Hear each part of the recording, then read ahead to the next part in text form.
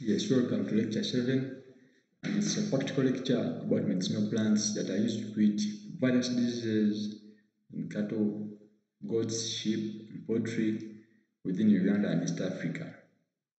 This is lecture 7, it's by Kulaka Ali Tariq, animal scientist. The first plant that we, is commonly used is aloe vera and this is a common plant that within various homesteads they cultivate it within buckets or we have seen here that they are cultivated within the polythene bags. It's used to treat various diseases. For example, we have infectious coryza, which is a bacterial disease. And signs we will see still there's swollen eyes or the head's always swollen. This is caused by the mycoplasma. We have mites, which is mite infestation. It's also treated using aloe vera. Then we have Newcastle disease. For example, this is a bird. It's infected by the Newcastle virus. We see the sign of torticollis whereby the neck is twisted. The other common plant that is commonly used is neem tree, which is Azadirachta indica, and the active ingredient of this tree is azadirachtin. And we use various parts of the plant. For example, we have the bark, then the leaves. It's used in treating and controlling these external parasites like the lice, flea. Then it's also used in treating antimalarial in human. Then it's also used in treating these eyeworms. For example, we see this is an eyeworm. Within the bovine, but it has the worms inside. It's a fly repellent. That's its major medicinal importance. The active compound is azadirachtin. The second plant is Albizia coriaria, and this is it has various species. We have Albizia anthelmintica, then we have Albizia coriaria. Albizia, this is how it looks like, the bark, then the leaves. It's used to treat these internal worms. For example, we have the liver flukes. For example, you see here, this is a liver that has been infested by the flukes. It really causes loss to the farmer because during meat inspection, liver which is infested by flukes it's always condemned. Albizia contains various active compounds. We have saponins, then we have histamines. It's also used in treatment of these lungworms. The other common plant is Allium sativum, which is garlic, and it's used to treat cough or cold signs and then pneumonia. Garlic contains two compounds. The two compounds include allicin and allicin. It's also used to treat ringworms and some intestinal worm infections. Garlic provides immunity. The other common plant that is used is red pepper, which is Capsicum frutescens. This is red pepper. It's used in treatment of these internal worms infestations. It's also used in treatment of Newcastle disease within poultry birds. It's a duama, it's used in diarrhea and in contagious pneumonia. The active compound is an alkaloid called capsaicin. The other plant is Carica papaya, which is plays a role in control of worms, this antihelminthics, because it contains the active compound called papain. Papain helps in the treatment of these worms. It also contains flavonoids, which are used in antibacterial. Carica papaya is used in treatment of retained placenta. Could see here, this is a common case in within most of the herds.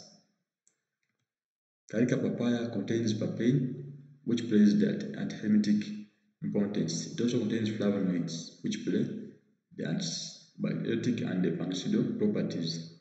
It's used in treatment of constipation and retained placentas. The other plant is the Datura stramonium, which is thorny apple, it's a poisonous plant. Datura stramonium is also within the family Solanaceae and it's used in treatment of ringworms. For example, you could see here this is cattle, but it has been infested by the ringworms. It has been infected by ringworms, so it's also a zoonotic disease. You need to always have your protective gear as the PPEs to handle such cases. Datura stramonium contains active compounds like atropine, scopolamine, then hyoscine used in treatment of ringworms. The other plant is eucalyptus, which is a common plant in East Africa. It's, not a native plant. Eucalyptus citriodora it's used in preventing or controlling these mosquito infestations. Remember mosquitoes, the vector virus diseases, for example, we have Rift Valley fever and they also transmit pox within the poultry birds. This eucalyptus we use the first we have the bark and we have the leaves. What we do, we plant these trees around the herds. Eucalyptus contains various active compounds. We have the terpenes, for example.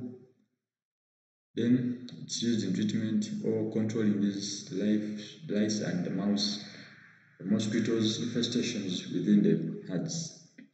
The other plant is Harrisonia abyssinica. Harrisonia contains active compound called harrisonin from the word Harrisonia. We add here Ne to make harrisonin. It's used in treatment of virus diseases. We have contagious bovine pneumonia. It's used in treatment of retained placentas and it's also used in treatment of lumpy skin disease. For example, here this is cattle, but you can see the signs of contagious bovine pneumonia, whereby the neck is extended. Then you shall, if you could be around, you could be hearing some grunting sounds. Then always the animal stands, but the legs are always wide. This is how the leaves and the fruits of the plant look like. We said it contains harrisonin. It's also used in treatment of 10 placentas and then abscesses. The other plant that's used in Uganda and East Africa is Nicotiana tabacum. This is tobacco it's used to treat tick infestation, whereby they just take, they make a paste of these leaves of the tobacco and then they smear around where, where these ticks are infested. Nicotiana tabacum contains nicotine as its active ingredient. It's also used in treatment of the eyeworms. Remember we saw in the previous slide how the eyeworms look like. The other plant that's used is guava, and this botanical name is Psidium guajava. It's used in treatment of diarrhea, whereby they use the leaves, then they make the drench. Then they give the animals, this is how the bark and the fruit of the guava look like. Guava contains various ingredients, for example, the flavonoids, saponins, linoleic acid, and many more. It's mainly used in diarrhea infections.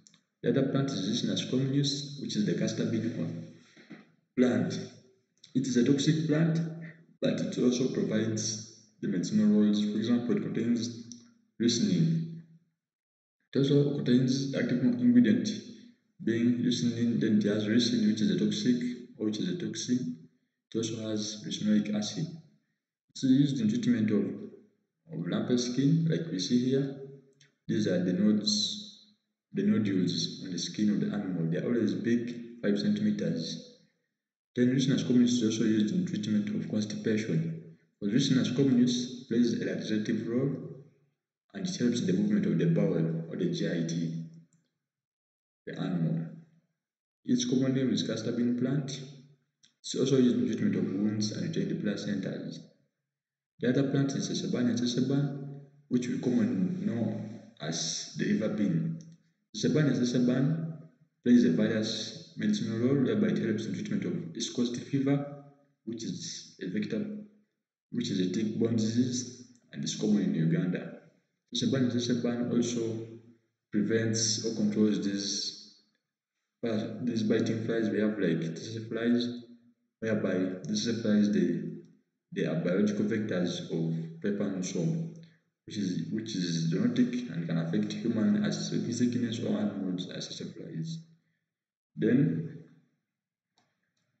we have Solanum incanum, which is sodom apple, and this sodom apple affects mainly the nostril bottle flies, whereby these ones are always within the nostrils of the animals, they cause aging.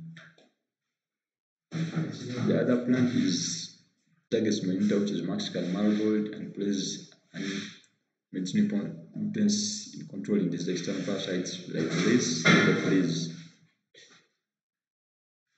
Then we have Vernonia ingredienta, which is used in control of weight, whereby you could see like this animal, the left side of the rumen, it is extended. The other common plant is Zingiber officinale, which is ginger, and it's used treatment of diarrhea and then the worms. Thanks. Till lecture 8.